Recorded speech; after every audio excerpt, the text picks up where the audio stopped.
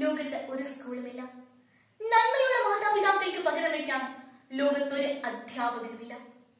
നമ്മുടെ രാഷ്ട്രപിതാവ് മഹാത്മാഗാന്ധിയുടെ വാക്കുകളാണിവ. കോവിഡ് മഹാമാരി വിതച്ച് ഭീകരതയിലൂടെ കടന്നു പോകുമ്പോഴും വിദ്യാഭ്യാസ സമ്പ്രദായം അതിജീവനത്തിന്റെ പാതിയിലാണെന്നത് അഭിമാനാർഹമാണ്. വിദ്യാലയത്തിന്റെ വിശാലമായ നെടുമുറ്റത്ത് ഓടിക്കളിച്ചും കൂട്ടുകാലമൊത്ത് പഠിച്ചും വിദ്യയെ അനുഭവിച്ചിരുന്ന നമ്മുടെ പുതിയ തലമുറ പരിമിതത്തിലായപ്പോഴും സാമൂഹിക മാധ്യമങ്ങളുടെ സഹായത്തോടെ വലിയ വിദ്യാലയമാക്കി മാറ്റിയത് നമ്മുടെ നേട്ടം തന്നെയാണ്. എന്നാൽ ഇതിന്റെ മറുവശം വേദനാജനകമാണ്. കുട്ടികളുടെ പ്രതികരണ ശേഷിയിലുള്ള മാന്യം എടുത്തു പറയേണ്ടതാണ്. ചോദ്യം ചോദിക്കുമ്പോൾ സാങ്കേതിക കുഴപ്പമാണെന്ന് പറഞ്ഞ് തടിതപ്പാൻ നമ്മിൽ കുറച്ചുപേരെങ്കിലും മുതിർന്നിട്ടുണ്ട്. ടിവിയുടെയും ഇന്റർനെറ്റിന്റെയും ലഭ്യതക്കുറവും പണച്ചെലവും പാർശ്വവൽക്കരിക്കപ്പെട്ടവർ വീണ്ടും പാർശ്വവൽക്കരിക്കപ്പെടുവാൻ ഇടയാകുന്നുവെന്നത് കണ്ടില്ലെന്ന് നടിക്കാനാവില്ല.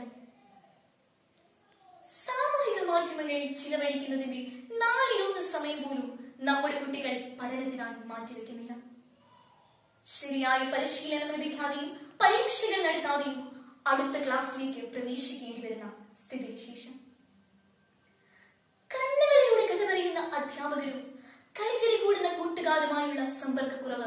നേരിയ തുണി കുട്ടികളെ മാനസികമായി ഉലച്ചിട്ടുണ്ട്. മൊബൈൽ ഫോൺ എന്ന നാല് വലയങ്ങളിലൂടെ മാത്രം ലോകത്തെ കാണുന്ന നമ്മുടെ കുട്ടികൾക്ക് ലോകപരിചയം നഷ്ടമാകും. എന്നാൽ ഏറ്റവും ശോചനീയമായ അവസ്ഥ സ്കൂളിലേക്ക് ആദ്യമായി പോകാൻ കാത്തിരുന്ന കുഞ്ഞു കുരുന്നുകളുടേതാണ്. തങ്ങളുടെ അധ്യാപകരെയും കൂട്ടുകാരെയും ഇതുവരെ കണ്ടിട്ടില്ലാത്തവർക്ക് അവരുടെ ലോകം അവരുടെ മുൻപിലിരിക്കുന്ന മൊബൈൽ ഫോണും കമ്പ്യൂട്ടറും വിദ്യാഭ്യാസം എന്നാൽ എഴുത്തും വായനയും പഠിക്കുക എന്നത് മാത്രമല്ല അത് പ്രതിസന്ധികളെ നേരിടാനുള്ള കരുത്താർജിക്കലാണ് എന്നാണ് മഹാത്മാഗാന്ധി പറഞ്ഞിരിക്കുന്നത്. എങ്കിൽ വിദ്യാഭ്യാസത്തിന് ഏറ്റവും നല്ല വ്യാഖ്യാനം നൽകാൻ കഴിയുന്ന ഒരു കാലഘട്ടത്തിലൂടെയാണ് നാം കടന്നുപോയിക്കൊണ്ടിരിക്കുന്നത്. ഇന്ന് ഈ പ്രതിസന്ധിയുടെ നടുവിൽ വിദ്യാഭ്യാസം കാലോചിതമായി നടത്തപ്പെടുന്നുവെങ്കിൽ അതിന് കാരണം നമ്മുടെ കുട്ടികൾ